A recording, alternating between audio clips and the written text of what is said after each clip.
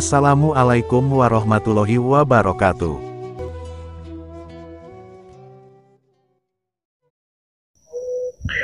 اللهم صل على محمد يا رب صل عليه وسلم اللهم صل على محمد يا رب صل عليه وسلم.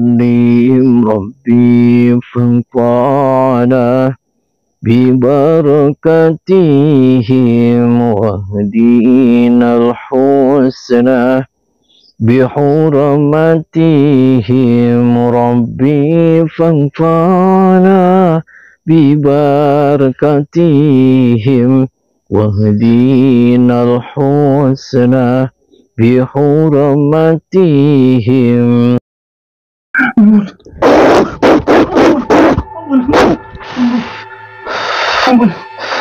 Gila kamu dari awal saya ngomong. Kamu gak jelas kamu. Kamu waras. Jangan kayak gitu. Kamu jangan di sini kedok-kedoknya aja kamu ulang aja ternyata kamu ngemperin orang. Heran aja kamu. Kapok kapok. Gak jelas. Berapa orang yang udah kamu tumpakin? Eh?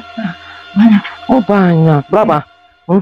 Ada saya sendiri. Hmm. Ya, Hmm. sekitar 32. Oh 32 orang. Guru saya lebih banyak itu, Pak. Eh dan berarti kamu.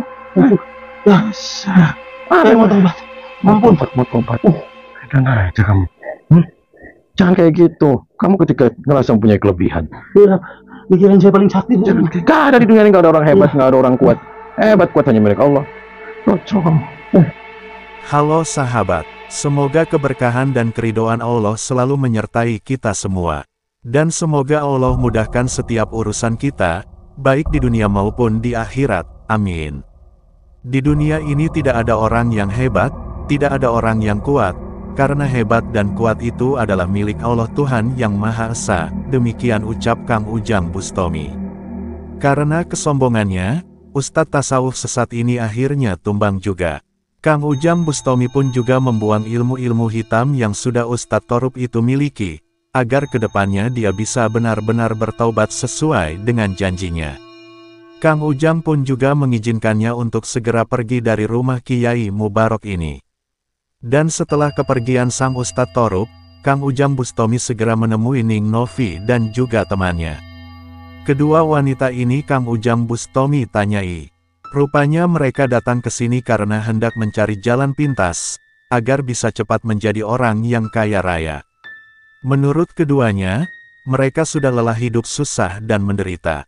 Apalagi harga-harga sembako kini sudah mahal harganya, sehingga tak jarang mereka terpaksa harus berpuasa karena tak punya apa-apa.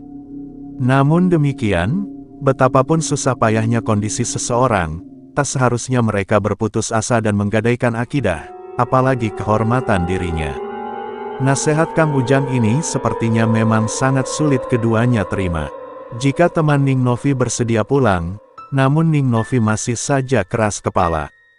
Hingga akhirnya Kang Ujang Bustomi sedikit harus memaksanya. Hingga akhirnya Ning Novi pun bersedia menuruti nasihat Kang Ujang Bustomi. Dan setelah Ning Novi keluar untuk menunggu di mobil, maka Kang Ujang Bustomi pun segera bergegas menuju kamar dari Sang Kiai Mubarok.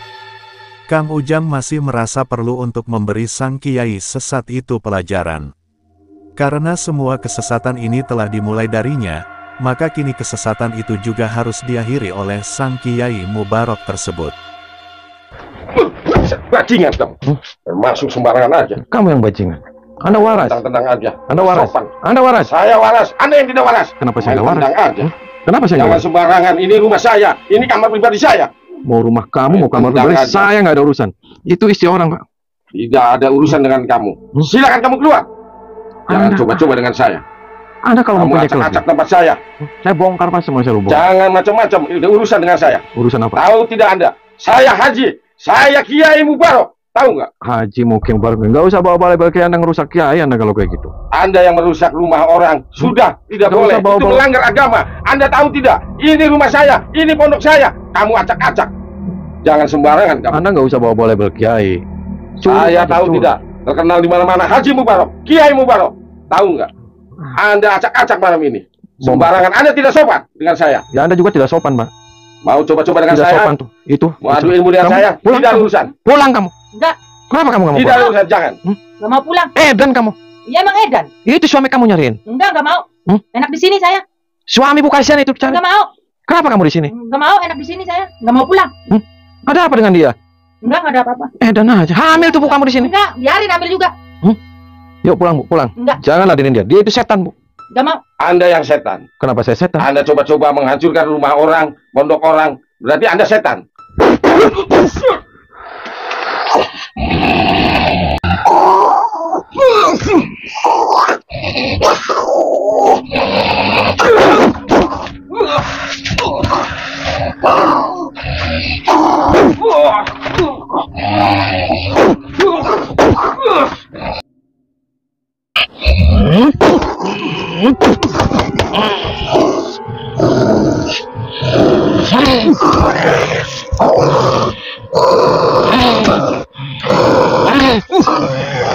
Oh,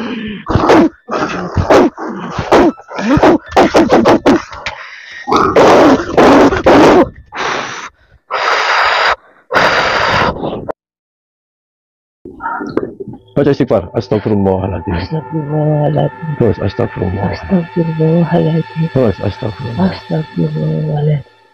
Bangun, tinggalin tempat ini. Temuin suami sana. Keluar.